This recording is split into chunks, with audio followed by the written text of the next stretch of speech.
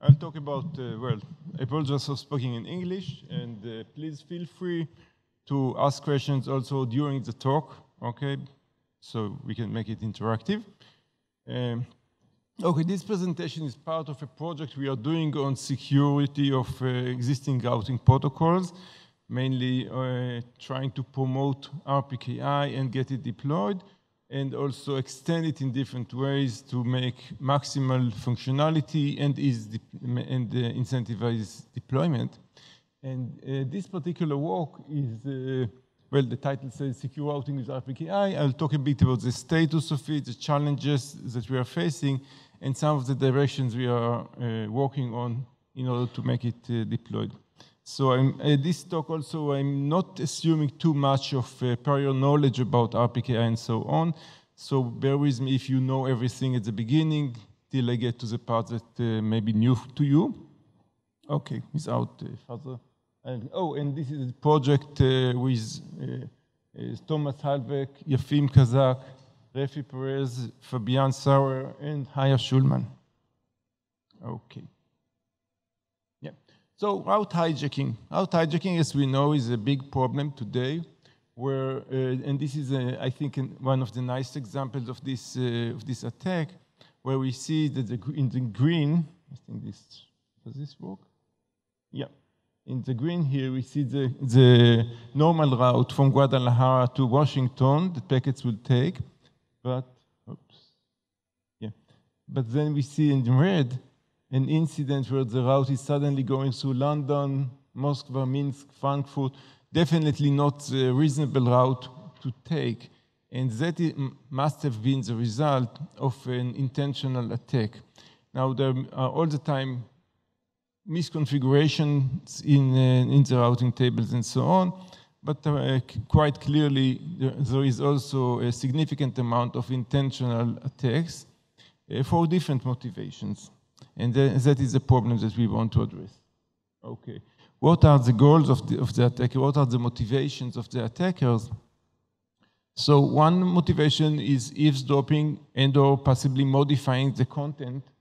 Uh, that, uh, that motivation specifically could be solved if the information is protected using uh, cryptography, of course. Some of the other motivations are more uh, are harder to, to deal with uh, to prevent. One of the important motivations is phishing and spam.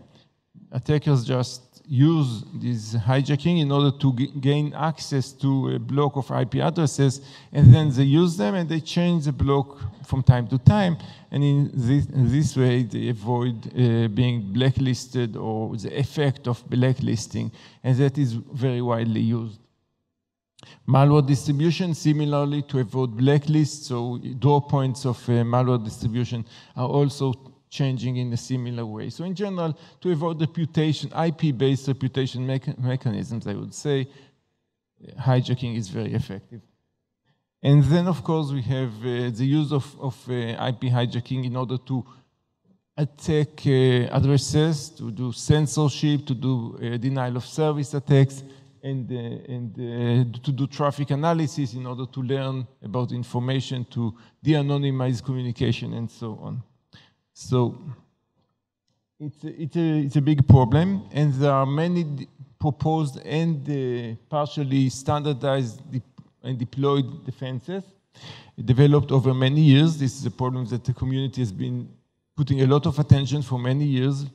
Uh, and the, our challenges and focus is on trying to have deployable solutions because, uh, which will also be effective because the fact that the community has been struggling for, with this for so many years, obviously there is a problem of getting solutions which will be deployable. Okay, so that's uh, the, obviously a, the big challenge, and that's what we are trying to focus on. So just uh, if in case you're not completely familiar, brief explanation how these attacks work. How is this prefix hijacking works? Okay, so here's a very simplified network. Oh. Yeah, here's a very simplified example of uh, just uh, four uh, ASs. And one of them, you see, AS666 is the attacker. Okay, so this AS is trying to hijack traffic which is sent from AS1 to 333. In order to do this, it, it is sending an incorrect uh, BGP announcement claiming to own, to host the prefix of uh, uh, 333. Okay. So here is the correct announcement from uh, 333. Enter route is simply itself with the prefix 120016. And it is sent to 22, which as itself, normal BGP, everything is simple here. Okay? But what happens is the attacker simply sends also an announcement claiming to have the same prefix. So this is why we call it prefix hijacking. It's also a very simple attack. You just announce BGP announcement with the prefix. Okay? And you send it. In this case, AS1 will prefer to send the traffic to the attacker and the reason is that the path is shorter. And BGP, it works normally according to a policy, which is, which is the, uh, controlled by the specific AS, but one of the basic things done in these policies is to prefer the shorter path. Okay, and therefore uh, it would, in this example, send to the attacker. Okay. Another variant of the attack, which is, in, and that's uh, uh a, very important variant is the sub-prefix attack. It's very similar to the previous attack, except that now the attacker is, is announcing a sub-prefix of the original prefix. Okay? And why is the attacker doing this? Because as you can see in this example, the, the previous attack would have failed. It would have failed because the attacker is already more far away from the, legit, from the sender than the legitimate prefix owner then if it would just claim to have the same prefix, it will lose because it will be a longer path. And in fact, you should remember that paths on the internet are usually very small, AS paths, not counting routers, but, but counting autonomous systems, are very, very short. In fact, there are a bit, the, the average length of a path is less than four, it's a 3.6 or something like that. So it's it's pretty, really pretty short. And in fact, we have seen, there, we have measurements that show that a lot of the most important customers are even in shorter uh, path lengths. Path, again, in the sense of the number of autonomous systems. So adding your, so being in shorter or in equal, even equal lengths is really difficult for the attacker. And the attacker may many times be in this situation that we are showing that I show here, where the path to the attacker is longer. However, the sub-prefix attack is, would still work, and that is because, uh, let's see the, the, attack here, the attacker is sending the sub-prefix, right? And although the, the route to the sub-prefix is longer, you see it's 666, versus the, the legitimate route is only 333, so it is shorter still the traffic will go to the attacker because it's more specific. And we always prefer to send in IP to the most specific prefix. So the most specific prefix always wins. So that's very useful for attackers. Okay. Which brings us to the solution, the standard solution to these attacks. And there, there is a standard already for quite a few years called RPKI, and one component of, of that standard is a mechanism which, for, which is called route origins validation, or ROV, which is designed exactly to address this, uh, this problem. Okay? So what happens when we are using this mechanism? We, we have these two announcements here, but the route origin validation would, would throw away the incorrect announcement uh, because Uh, it will know which domain is authorized to announce a particular prefix. So that is actually addressing this problem as well as the sub-prefix problem. And the question is, how does it do it? How do we, how does this mechanism work? And then, of course, the question is, how is it deployed? Is it deployed? And the answer to that will be, it's not widely enough deployed. And then why and what can we do? But first, let's understand what it is supposed to do, how it is this mechanism is supposed to provide uh, this defense. Okay? Uh, And actually, there are multiple ways we could have tried to achieve this goal of filtering these invalid uh, announcements. Okay, so let's look at these ways. Okay. The first way is very naive. We would keep a list. Every domain, every AS would keep a list of the association of which AS is allowed to announce which prefix. We could learn it, you know, we could learn from our friends and so on, and we could gradually learn and all the who is who is allowed to announce each prefix. That's of course really unmanageable, however, because how can we you know, keep track of all the prefixes? And that's really unmanageable. So the alternative will be to check online. And in fact, we, we have the, the databases, ASDBs, which we could, which are listing normally uh, who is allowed to, who is owner of which IP prefix. So we could consult these databases and try to see, you know, where is this AS allowed to announce a particular prefix. However, that, that solution is also problematic because of the online communication, and even more so because these databases are not sufficiently well maintained. And that's a reality which I'm sure many of you are aware that, that these databases are not sufficiently well maintained to make routing decisions and to filter out based on these databases. So, so many times you, we will be able to use the, the local database for our own customers but using the databases of remote ASs and making decisions on any announcement based on them is rarely you know, useful enough or reliable enough.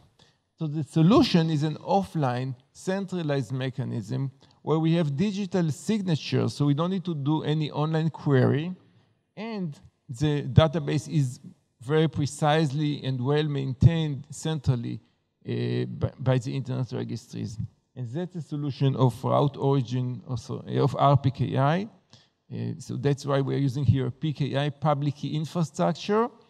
And uh, specifically, this announcement, we call them route origin authorizations. Let's look at this.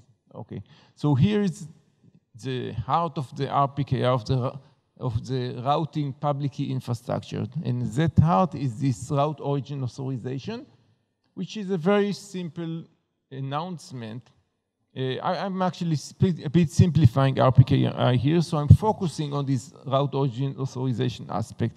RPKI has another aspect which is critical but less, but not necessary to understand what I'm trying to present here, which is how do we actually get the public key for each AS? Okay, so let's ignore that for now and say we do have a mechanism to get the public keys for each AS. Each AS can get a public key. That's not too difficult to, to actually get it. So if you, you own some address block, you can get an, a certificate which says that you own the address block. And now you can issue, as an owner of the address block, you can issue these route origin authorizations. Route origin, oh, oops, oh, this goes backward when you don't want it. Right. Okay, try not to do it. Yeah, route origin authorizations which are linked together the pref specific prefix with a specific origin which is allowed to announce it, and it is signed by the owner of the prefix. So each, again, we assume that we know we can, uh, we can check the certificates of the owners of each prefix, and now the owner can decide, okay, I allow the following AS to announce it, and allow another AS to, allow, to announce a prefix.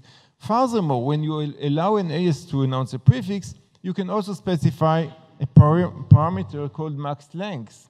And max length means how, what is the, the longest sub-prefix, what is the longest announcement, the most specific announcement that you can make if you are the, that, uh, or that ZAS, which is allowed to announce a prefix, what is the most specific announcement it can make. So, for example, if I gave a prefix 16, uh, maybe I allow the, the, the, origin to announce it either 16, 17, 18, or 19. Or in this example, or, uh, um, yeah, in this example, let's say that I announce uh, it up to 20. Okay, so I even allow him to announce 20. So I put max length 20. So the origin is allowed to, annou to announce a prefix and any subprefix of it until subprefix of length 20, but not more than this. Okay.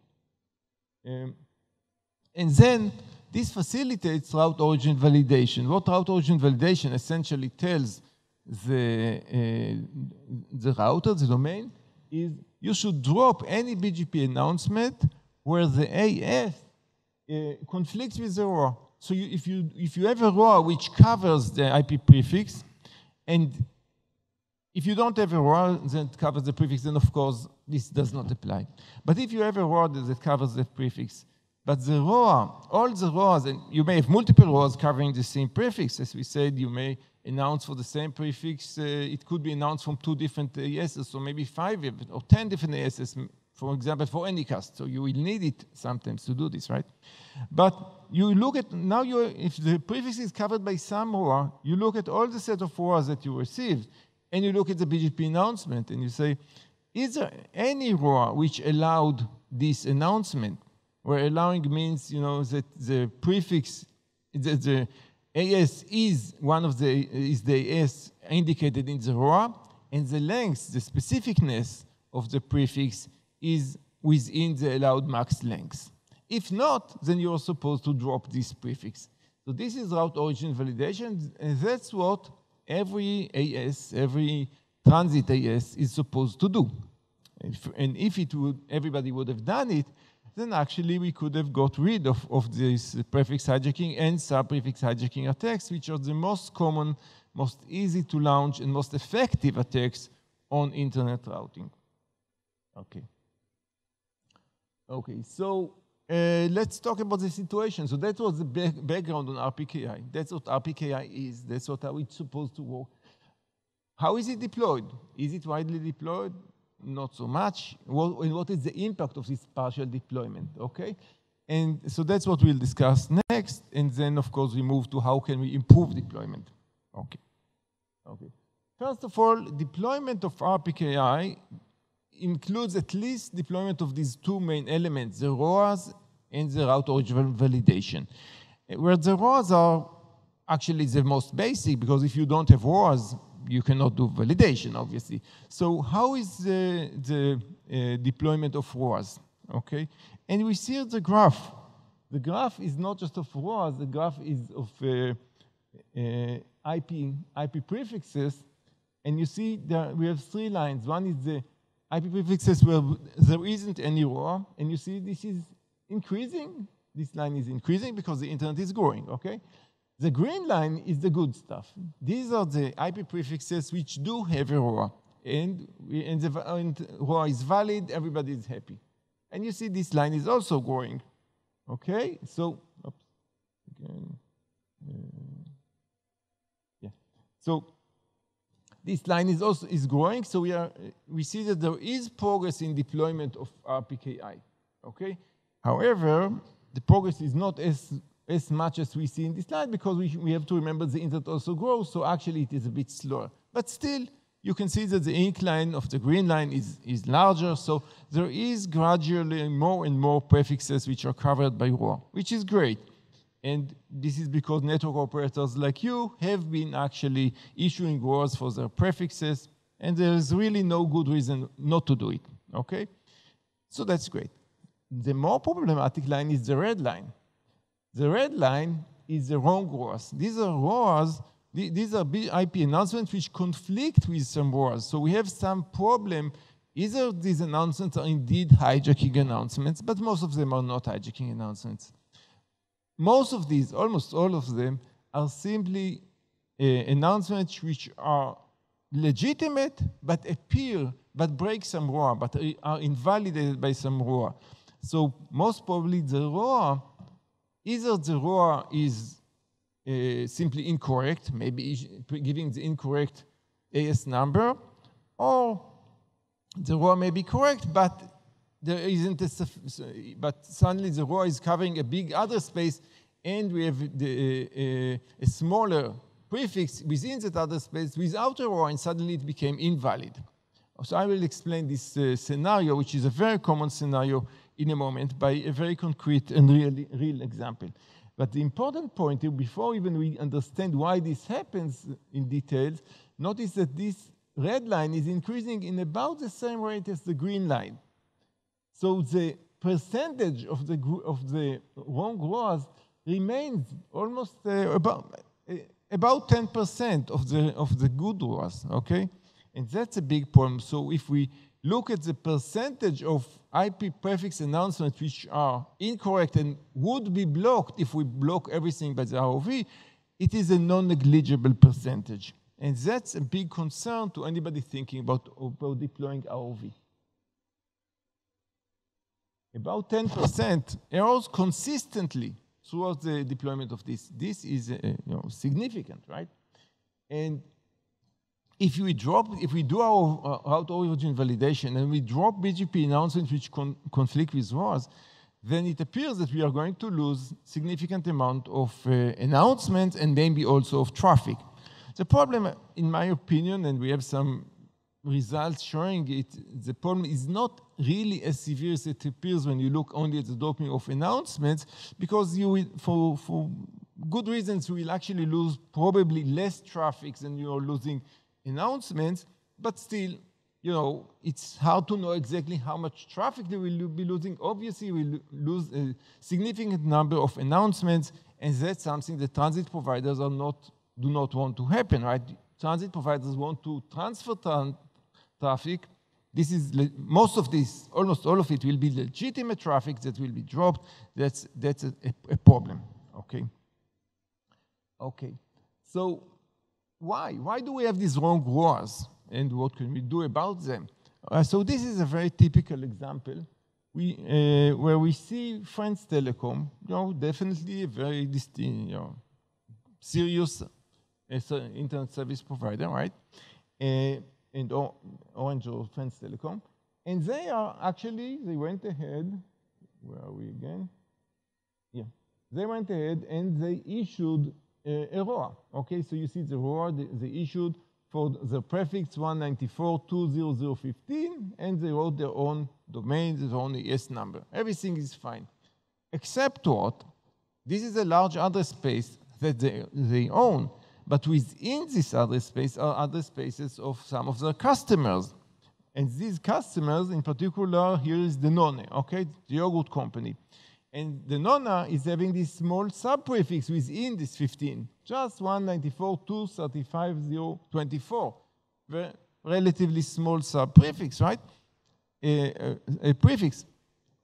But when you have an, an ROA for the large prefix of the entire orange, which includes this subprefix, then if you apply ROV, you will require also a ROA for the subprefix. And if you don't have a valid ROA for the subprefix, then the BGP announcement becomes invalid and you will drop it. So that means that announcements from uh, Danone will be dropped by anybody applying ROV.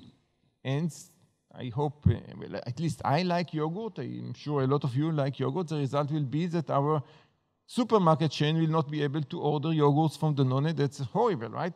That's unacceptable. Okay. So that's really uh, just an example of some of these many uh, or air conflicts between BGP announcements and our and, and the ROAs which are uh, have been announced. Okay, what can we do about this? Uh, we'll, we'll, see in a moment. But but uh, first, let's let's see. Okay, so if this happens and there are these incorrect uh, or conflicts between ROAS and, and BGP announcement, do people actually do deploy ROV? Do people drop traffic when it conflicts with, with uh, the, the ROAS? And we've done some measurements for that to, to test that. This, uh, I will first, I will actually I will just describe the simplest measurement that we did initially. Later, we did more precise measurements. But the simplest measurement is also, I think, uh, illustrates the, the the scenario illustrate also the basic techniques that we later improved upon. So it's enough to explain it. And uh, that measurement was, uh, in this measurement, we didn't actually send anything on the internet. We just looked at, we used the fact that we, that we have so many incorrect ROAs, okay? Uh, so many conflicting uh, BGP announcements announced. And we said, okay, if one of the BGP monitors you know, all the servers you can see the BGP announcements they receive. If one of them receive a BGP announcement which contradicts the uh, then this implies that all of the ASs along the path do not apply ROV. Because if they would apply ROV, then this announcement would have been dropped. So just by the fact that a monitor received a BGP announcement, which of course you can, you can learn from all these monitor services, but just by that fact, we can identify that all of the ASs along the way did not actually do the filtering. And that alone allowed us to actually identify that many, many ASS ovals do not do the filtering. Although that's a very crude uh, measurement, and again, later we had a much more precise measurement. Already by this measurement, we were able to see that uh, at least 80 of the 100 largest ASs do not apply ROV. Okay. And later, by, by more precise measurement, we found that actually the number of ASs that, that apply globally, that apply ROV, is less than 20 and apparently actually less than 10 and very, very limited. So that's essentially negligible.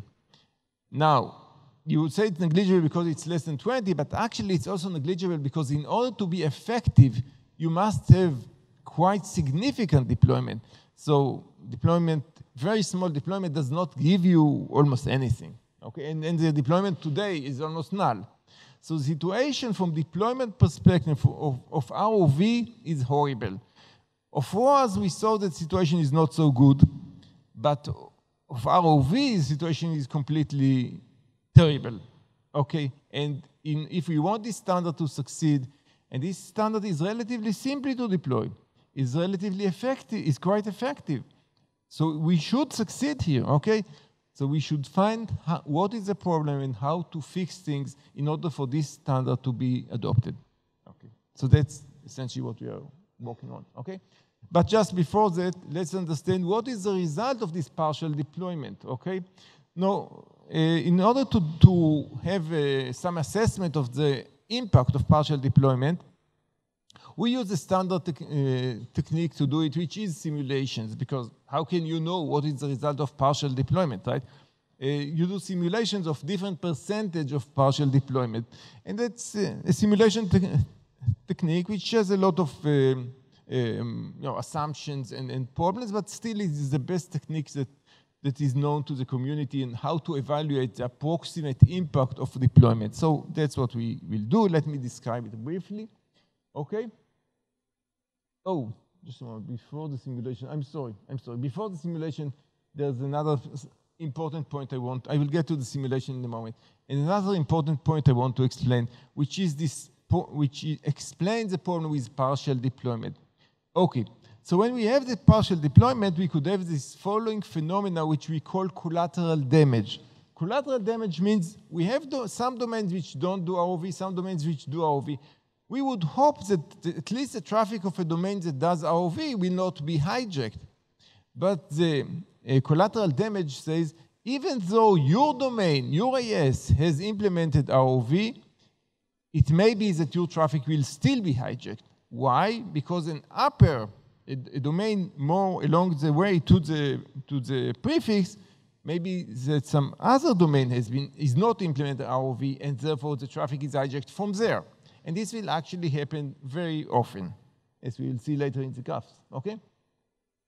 How, what, the reason is that there is a mismatch between the control plane and the data plane. That is, you're sending the traffic because this is the routing, the, the, the according to the route that you have identified with BGP, but it may be that it will not really go along the entire route as you, as you see from the BGP announcement, because along the way, it will go through some different route. That could happen, okay? And look at this following example. So a very simple example again. We see domain or AS3 is green because it has implemented ROV. So we'll color it green. Wonderful, this is a good domain. Domain 2 is not malicious it's just not implementing ROV. And as we understood, most of the ASs on the internet do not. So that's a typical AS, okay? And 666, of course, is an attacker, right? He's a bad guy. Now, what will happen here is 666 is announcing, so this is a legitimate announcement of 110016, Here's the route, everything is okay. And here's the bad announcement. The bad announcement is a sub-prefix hijacking attack to 111.0.24. And now the route is, of course, the invalid route. This is a bad announcement. And domain 3 is well aware of this because we have a ROA. So we know this is a bad announcement. Domain 3 is implementing ROV. So he's going to drop this, right? Problem solved. He's going to drop this false announcement. Everything good. Okay? Discarding it. Wonderful. Let's discard it. However, what still happens is we have discarded it, but now we are still sending to domain 2 because this is the domain that sent us the correct announcement also. Is, so we are sending it to domain 2. The problem is that domain 2 will now send to domain 3 because domain 2 is not implementing ROV. So the control path that we think we are using, we think that the data is flowing from 3 to 2 to 1, but actually it's flowing to 3 to 2, and 2 is sending to 666. Okay? So that's a problem. That's what we refer to as collateral damage. And that problem is very, very common in partial deployment of ROV. Okay. Okay, so here's the simulation as I explained before. This is a standard technique used to evaluate the impact of partial deployment of new technologies on routing. So we are taking the uh, internet uh, graph from CAIDA of all the domains and topologies, relationships and that's empirically derived data. We pick randomly a victim domain and an attacker domain. We, uh, of course, we assume that the victim domain is using ROAS in order to, to check the impact of the validation. So let's assume that the prefix is protected by a ROA, okay? And let's see what is the impact of that, how useful that was. So we pick randomly some domains which are doing ROV, again randomly, and we'll change the percentage to check impact of different levels of adoption. And uh, then, yeah, then we, we find the domains which we'll send to the victim compared to domains which we'll send to the attacker. So that shows us what is the success of the mechanism of, or of the attacker, depending how you want to look at it, right? Okay, so that's what we do. And here's the graphs that you will get and uh, one of the graphs that we got, just uh, explaining the problem. Okay, so here's the adoption in the top ASs, top ISPs, okay? And the two graphs are when we have the green graph is when ROV is adopted globally in all of the other ASs by everybody, only not by this top, uh, excuse me, yeah, only by not by the top 100 which are adopting to this, and the red graph is when the adoption is uh, only 25%. So we see, first of all, if the adoption is only 25%, then the fact that all the top 100 uh, ESS is adopted does not help us at all. Didn't help us, right? Because the, percent, the essentially traffic is always still hijacked. Okay. Secondly, we see that even if everybody else, all the small ES or medium ES, all of the assets except the top 100 is adopted. This still does not help us for most of the traffic. Most of the traffic is still being hijacked unless we have a lot of the top ASs adopting it.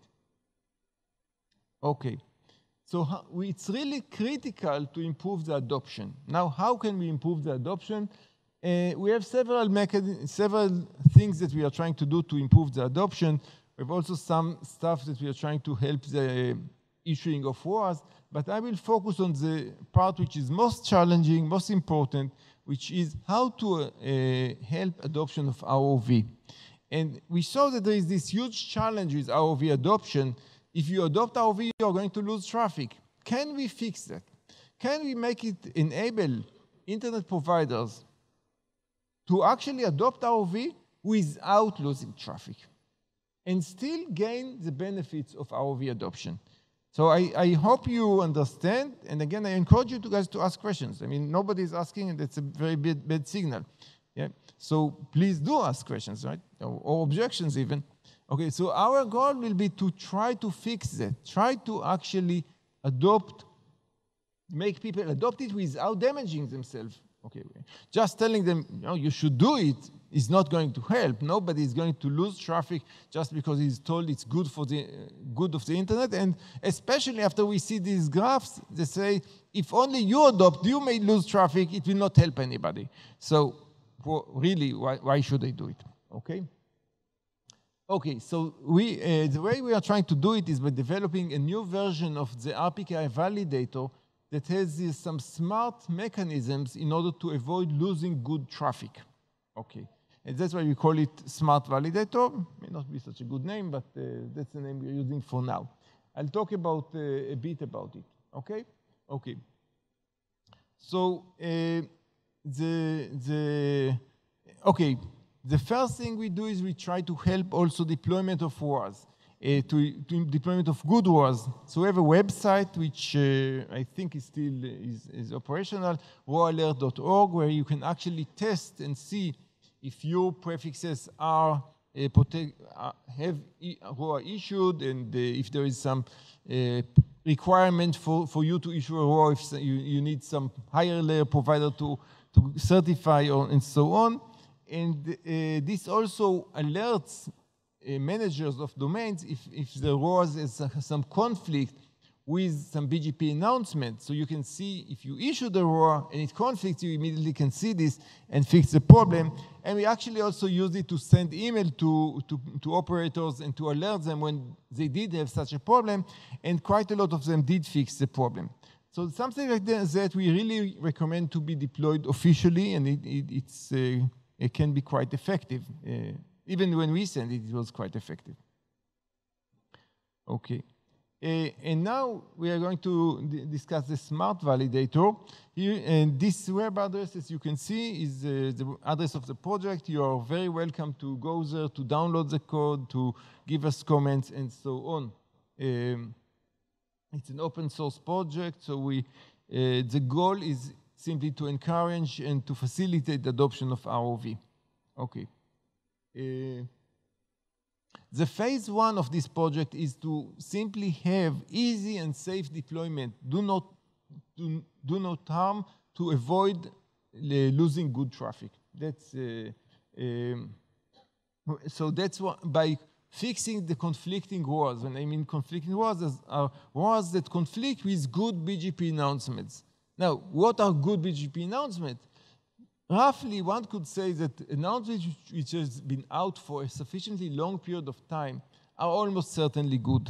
And indeed, there are some web services that are trying to identify suspect BGP announcements, and you can see there that, the, almost all of the announcements, we, the suspect announcements, do not live more than you know two weeks at most, two and a half weeks, three weeks is a lot because normally after such period of time, network managers will identify them and uh, remove them. So we can simply focus on these long-lived BGP announcements and make sure they are not uh, uh, blocked because of the validation, and then the others, it's okay to, to block them. That's the basic idea of the smart validator. So it actually a very simple, maybe not a very smart idea. Maybe we should call it a simple validator, okay? Um, the validator is, well, actually, it's not completely open. We are still working on some final uh, QAs and extensions to it, but uh, the code is almost ready, and therefore we are now planning to do some experimentation with it. Then we will uh, welcome you to, to join us uh, because we're looking for network operators that will install the system. The system, when you install it, does not actually do necessarily any blocking. It will just monitor your system and allow you to see what will be the outcome if you, you would deploy the route origin validation using different options that the system supports, so you can select an option that will not cause you any harm. And in order to facilitate that, we do support multiple ways that you can restrict the filtering done by the system, so you are not going to lose any good traffic where the basic rule is just, as I said, the longevity of the BGP announcement. So if a BGP announcement has been announced for sufficiently long, which you can define, maybe two weeks, maybe three weeks, then the system will assure you that it will not block it, and therefore you will not lose the, that traffic.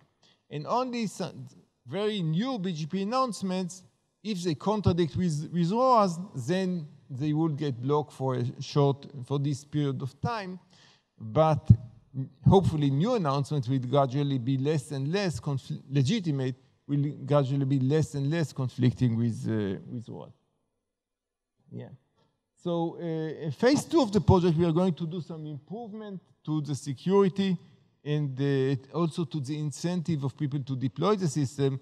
So we have some ways where uh, the version two of the system will actually make it more likely for, for you to gain customer traffic if you do deploy the, the improved uh, filtering because your customers in the version 2 will be able to know which of their providers is doing the filtering and therefore will be able to, when there is a risk of uh, hijacking, will be able to prefer the, the, provider that does not, uh, that is protected from this risk of uh, filtering. So it will provide an incentive for deployment.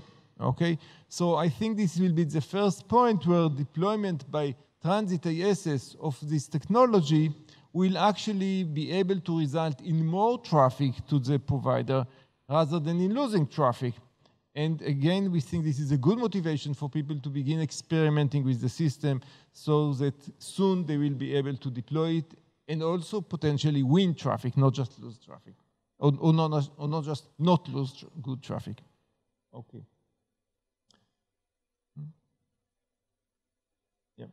Um, okay, uh, just to show you the, this uh, graph showing that hijacks are usually short-lived, here you can see the uh, possible do, uh, uh, the graph of the possible BGP hijacking according to some web services that define that categorize BGP, what appears to be BGP, real BGP hijacking compared to just uh, you know, changes and so on. And they categorize them according to, we, we have uh, collected what is the length of time that the, these attacks have persisted.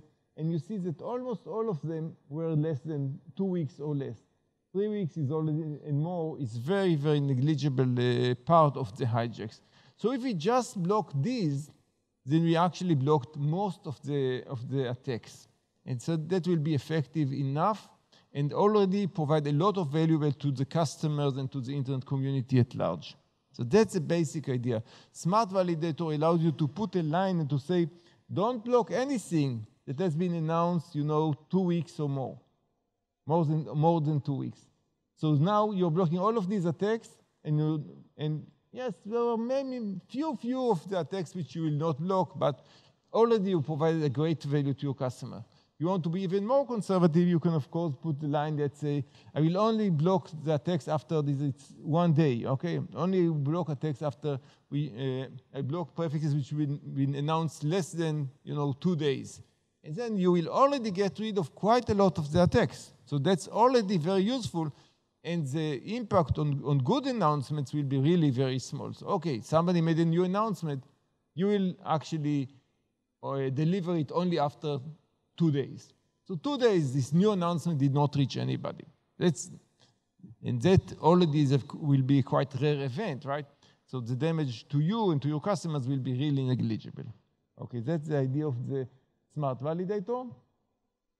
So uh, we allow long-lived BGP announcement, even if they conflict with ROAS, that will still capture most of the attack hijacks and uh, not cause damage. Okay? Um, uh, so it's easy and safe to deploy. Just you just plug and play it. It's very easy to deploy. There's no harm to your system. The recommended uh, mode, which is the default of the system, is just to observe the ROAS and the BGP announcements, to recommend to the operators some uh, uh BGP announcement filters. The operator applies them manually, and we provide what-if scenarios, which says if you will actually allow the system to automatically block in different modes, what will happen. So let's say you install the system and after two, three weeks, you can tell it, supposing that I will actually have told you to, to block, what would have been the impact? And since we can see by the data which of the announcements are suspected as hijack and which are legitimate, we can tell you how many legitimate traffic you uh, or announcement you would have uh, blocked by mistake, and how many real attacks you would have blocked correctly if you use the system. And then you can make your judgment. And then you decide if you want to actually move to the uh, automated safe deployment modes, where we have two modes actually. One is we call the ignore mode, where if such a, if we find a ROA which conflicts with this long-lived announcement, we just ignore the entire ROA. Like the French Telecom example, we'll just ignore the entire French Telecom ROA. Or the extend mode, where we say, we will extend the set of ROAs. So if we, Danone did not announce a ROA and France Telecom did, the other option will be, we will actually tell the router as if Danone has done a ROA for their prefix, and therefore we will not drop traffic or the announcement from Danone. So these are the two ways that we can solve the problem of conflicts between ROAs and long-lived BGP announcements. And we support both of these methods.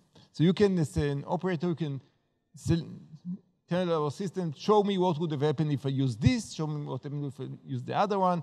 You can also de determine the length of time that you want, you know, how, what does it mean long-lived?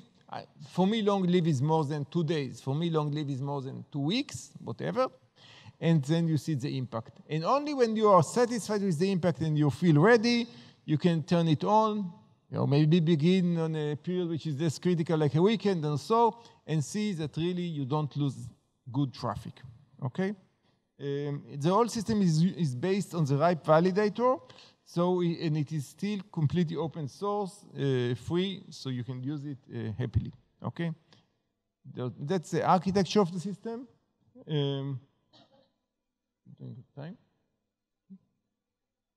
Okay, okay, very good. Okay, the architecture of the system. So we have a, a, data warehouse where we collect all the data. We have a dashboard with the user interface to the user. We have a collection of data from data resources from the uh, RPKI repositories, from the monitors, and from the your local uh, routers to see the, what, what are, uh, you know, uh, long-lived uh, announcements that you receive or that other monitors receive, and also to, to check what which announcements are uh, considered as possible hijacks. So we, you can see these what, what if scenarios. And then the, we have the, the, basic engine that is implementing the policy you've set it up and connecting to your uh, routers.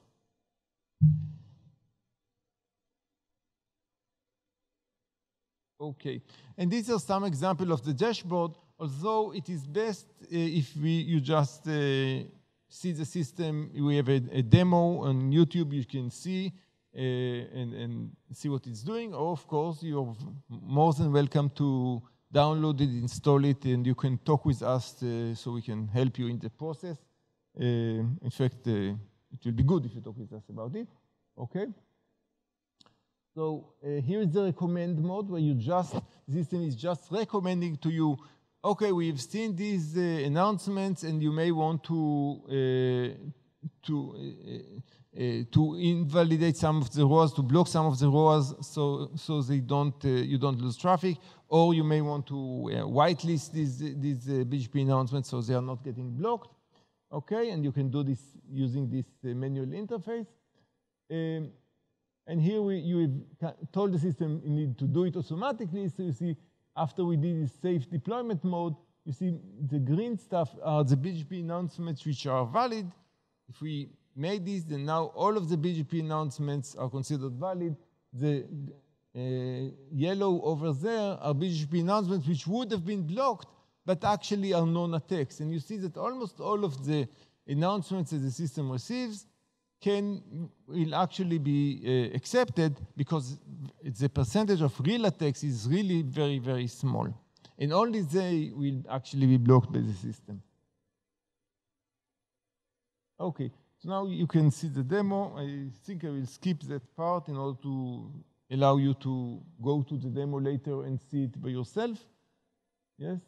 And talk a bit about what we are planning uh, and beginning to do for phase two of our project um, so we are uh, adding to the phase one several uh, new ROV features. We also need to re-implement it because uh, we want to move to the version three of the RPKI validator from RIPE. Which they've completely re-implemented in C++, so we'll re-implement our code too. But in addition to just re-implementation, uh, then we are doing uh, some interesting extensions. One of them is what we call ROV++, which is this uh, incentive-based mechanism where a provider can tell its system to provide, if it has two different providers, and one of them for specific is doing ROV, is deploying ROV, and specifically ROV++, plus then it will the, the uh, customer AS will automatically prefer that the announcement from that provider in order to avoid any uh, the possibility of traffic hijacking. Of course, you can balance it with, with other considerations, but every customer can define at what, uh, at what point would you prefer to go with a provider that does this ROV, the ROV validation. And that will, if, if it, by doing this, you can actually protect yourself from the collaborative damage. So we expect that end customers, organizations will many times prefer to deploy this option in order to uh, be pro protected from the collaborative damage uh, risk of, uh, of hijacking. Okay, so that will uh, be, be provide an incentive to deploy as well as protection against the, the collaborative damage uh, phenomena. Another thing that we'll have in PES 2 of the validator is another mechanism which we've presented in uh, actually in a paper in SIGCOMM last year, which is called path end validation, which is an, a very easy to deploy and a strong extension, extension to RPKI, where the, it prevents not just prefix hijacking, but also origin hijacking. Origin hijacking is similar to prefix hijacking, except you, the attacker is not announcing to own a prefix, which he doesn't, but is, is pretending to be connected to the origin of, the, of that pref, prefix. So RPKI would, as currently is not, is not addressing that threat at all.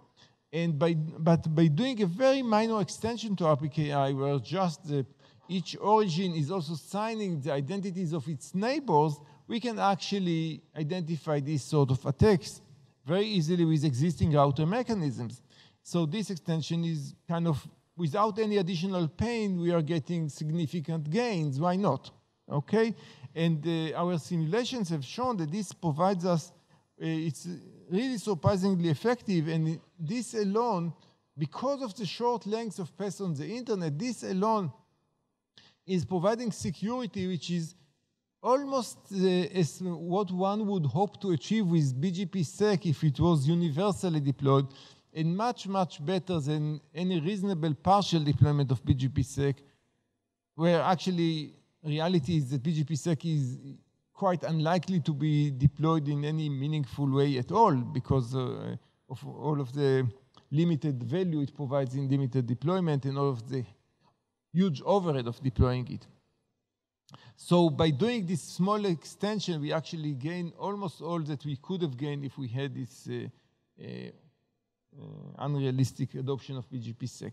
So uh, I think that uh, um, uh, that's it. We are also we, we, are doing some research just for your general interest on on routing security beyond BGP because BGP itself is limited and, and it's limited to a single route, of course. So uh, it's, it's easy to congest. Uh, BGP is not congestion sensitive at all, so uh, routes do not depend on congestion. And when we want to improve routing also to deal with denial of large denial of service attack, uh, then we need to, to fix the, this, uh, the, the, make routing sensitive and responsive to congestion and, and deal with it. Uh, IP itself does not provide, of course, any quality of service, any guarantees for delivery or anything like that. So uh, we have a, a, a design, we, we, are working on a design for how to address these problems. This is of course a longer term research project uh, where we are, we already have the basic protocol for uh, guaranteeing traffic across multiple domains. It's called uh, secure accountable inter-domain forwarding. That's an ongoing domain. So if you're interested, uh, talk with me about it. Okay, so that's it. Uh, okay, that's it. Con routing security is important. RPKI would improve significantly BGP security if deployed correctly. The smart validator does improve the, addresses the main problem of route origin validation in phase one, making it easy and safe to deploy. And in phase two, improving security and providing more incentive to deployers. Uh, so see the demo, talk to us, join the experiments, uh, provide us with feedback, ask questions. Thank you.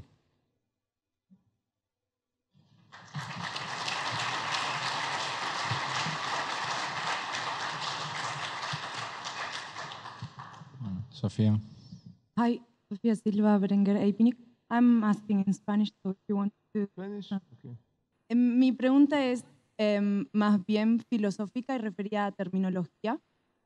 He visto alguna otra presentación similar o mismo está en el IETF y me surge siempre la duda de por qué hablamos de wrong ROAS cuando deberíamos utilizarlos para detectar hijackings, o sea que deberíamos poder considerarlos como ground truth.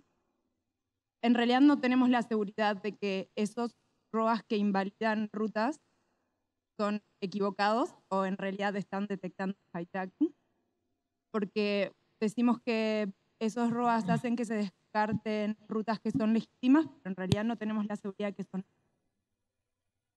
Entonces simplemente que creo que la terminología de wrong ROAS podría ser mejor para que transmita lo que realmente es. Es un ROA que invalida una ruta que no sabemos si es legítima, que en algún caso puede ser un error al crear el ROA, pero en algún caso puede estar detectando. ¿Puede ser? Yeah, so you're absolutely right. Um, so should I repeat it in English or it's okay? No, it should be okay, right? Okay, so you're, you're absolutely right that uh, the term wrong grower is a bad term. And I'm trying indeed to avoid it. I'm trying to use the term conflicting ROAs, but maybe it slips me uh, sometimes and I'm still using the term wrong ROA because I actually reach the same conclusion like you said, that the term wrong ROA is problematic because it First of all, because like you said, who knows if, the, if this is really an attack or not an attack?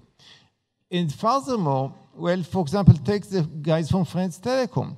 They insist that they are not issuing a wrong ROA. They say, it's not us that are issuing wrong ROAs. It's just a fault of Danone. They should be issuing the ROA too, right? They are not following the standard. We are okay. We are not going to fix it. Yeah, they, guy actually insist. We had some discussions with them about it. And well, from their perspective, I guess there is some, some truth in it. I mean, they are supposed to issue these ROAs. It's only that their, their work contradicts the BGP announcement by the, their own customers, so it's a bit weird to me, but never mind. uh, so, in a sense, yes, the customer, Danone, should have issued a warrant. and the fact that they didn't issue the warrant may so the, the term should be conflicting ROAs and not incorrect or wrong ROAs. That's true. Thank you. Thank you. ¿Alguna otra pregunta?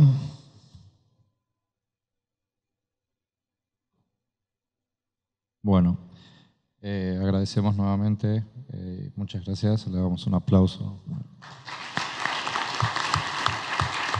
Thank.